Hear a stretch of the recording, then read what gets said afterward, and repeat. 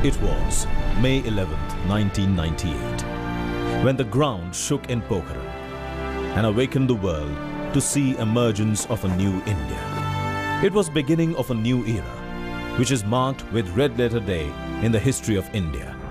Operation Shakti took the world by surprise and gave Shakti to India.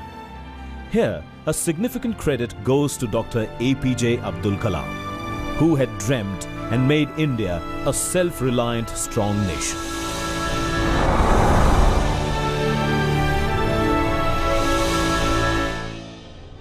Dr. APJ Abdul Kalam, coming from a humble beginning with early schooling in Rameshwaram, reached to the highest seat of the country, the President of India.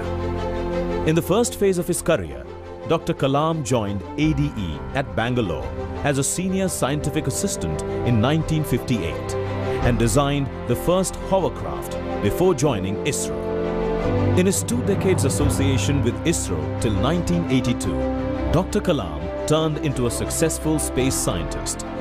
The second phase of his career started with joining the Defense Research and Development Organization, DRDO, in 1982.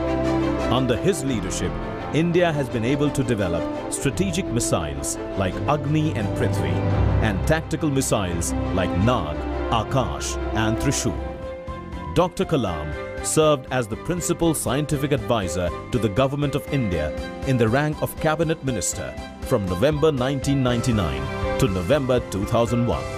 His fourth phase took a sudden turn when he became the President of India on 25th July 2002. Dr. Kalam also brought a spirit of dedicated service and inspirational zeal to this highest office, which earned him the title of the People's President.